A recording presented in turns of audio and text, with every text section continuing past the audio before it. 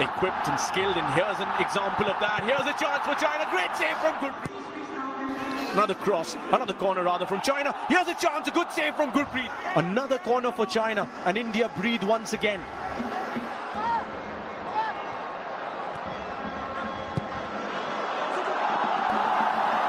Just about India surviving again.